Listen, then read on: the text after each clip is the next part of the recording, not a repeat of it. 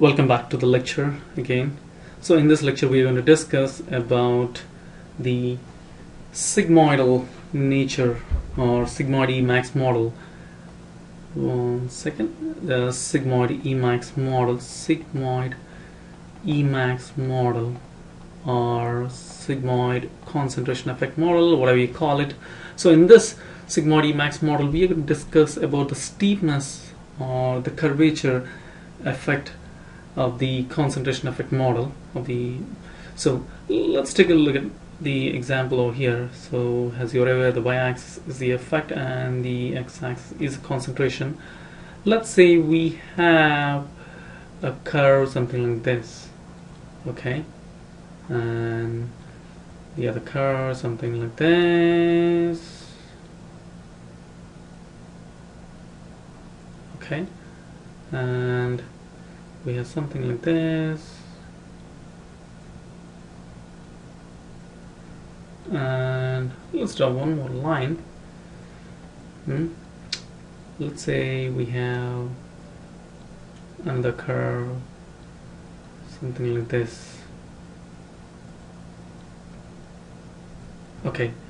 As you may have noticed in all these cases in all these examples in all these uh, let's say this is example 1 example 2 example 3 example 4 in all these examples you may have noticed the EC50 is same and Emax Emax is same and the the initial effect is same for 2 3 and 4 uh, sorry say let's say 1 3 and 4 and the there is a minimal effect E naught effect for the example number two right? Okay let's so and again all these follow same equation E is equal to E max times C over EC50 plus C right but there is a subtle change between these equations. There is a subtle change in the steepness of the curvature. So how do you account for this steepness and how do you uh, you know fit your data? So for this like um, there is a Hill factor or it's also known as sensitivity factor known as uh, you know Hill, Hill function. I'm gonna show you right now in this equation so effect is equal to Emax times C power n over EC50 plus C power n. So this n, as you can see this n is uh, Hill factor guys, Hill factor. Okay, this n is the Hill factor. Okay, so this n will affect this equation will account for the steepness or the curvature or the curvature effect. And I want to let you let you know one thing here. Uh, actually the power parameter this is the power parameter n does not have any significant you know biological interpretation. There is no uh, I mean I won't say significant there is no biological interpretation as such. But still there are theories and the rationale behind that is it's uh, other than the sigmoidicity constant it is also known as the uh, it also accounts for the cooperativity. I'm going to cooperativity. Okay?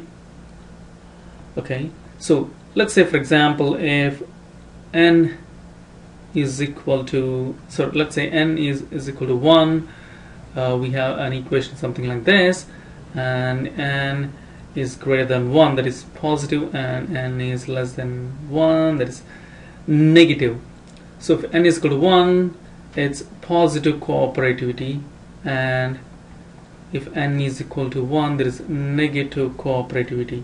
So what does it mean the cooperativity? It shows you know more binding will takes place at low concentration okay?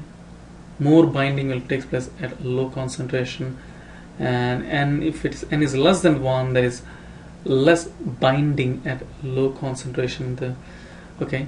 So let's take a look at the example here. So if n is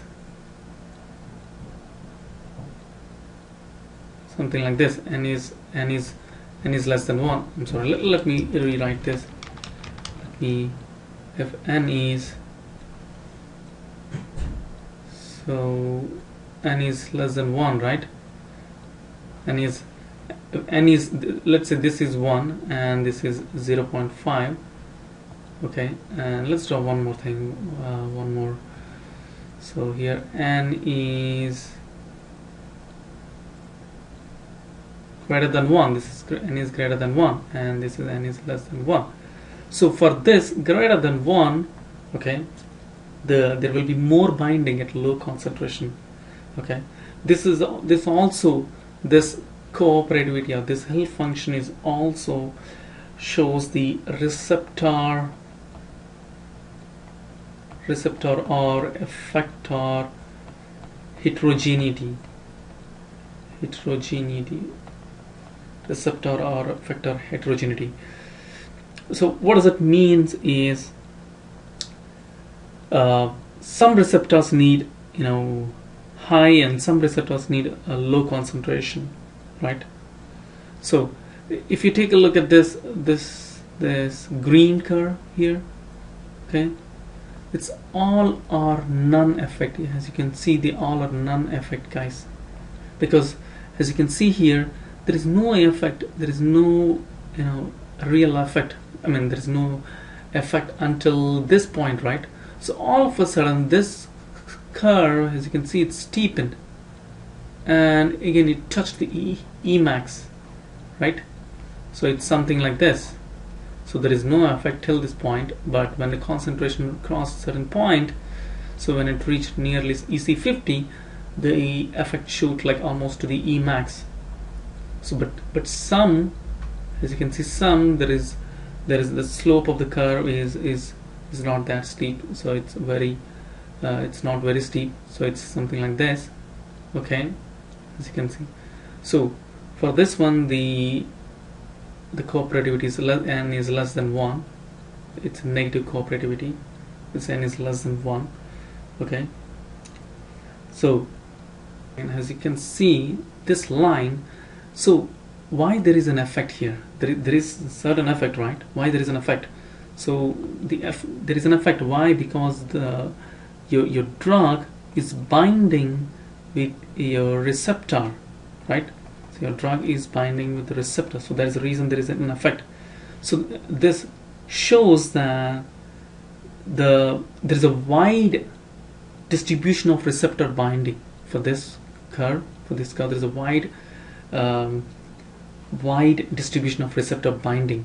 But for this green let's say okay I'm sorry for this for this for this green curve can, can this green line can you see that? So it shows very narrow very narrow range of binding constant right? Very narrow range. Because there is no binding between the drug and the receptor there is no effect. So there is no effect until this point. So there is a narrow range of a binding constant. So at a, at a concentration when concentration reaches certain point let's say until EC50 so that concentration is sufficient enough to bind those narrow range of you know receptors and which ultimately elicits the effect uh, and which may reach the peak immediately okay? So I know this is a little bit confusing so I'm going to leave you here.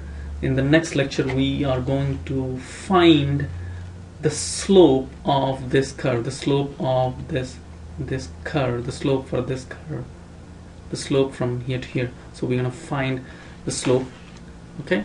All right I'm to stop it here